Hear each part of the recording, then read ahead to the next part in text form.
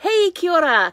Um, what is one thing you're grateful for today? Today, I am grateful for my neighbor here in the RV park named Joe. Joe is in his 70s, he's a Vietnam veteran, and he came knocking on my door this evening because he noticed water running underneath my RV and was concerned that I had a leak somewhere that was not good. So we ended up um, going out to the utility locker at the back, opening it up, finding out that where the hose connects uh, where the freshwater hose connects to the RV, there was a very slow leak, and it had been going for some while because there's a nice pool of water on the bottom of the locker, and the hole was um, slowly letting it out. There's a hole in that area to let out water.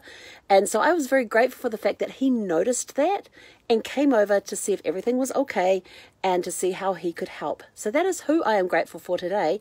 So what are you what or who are you grateful for today?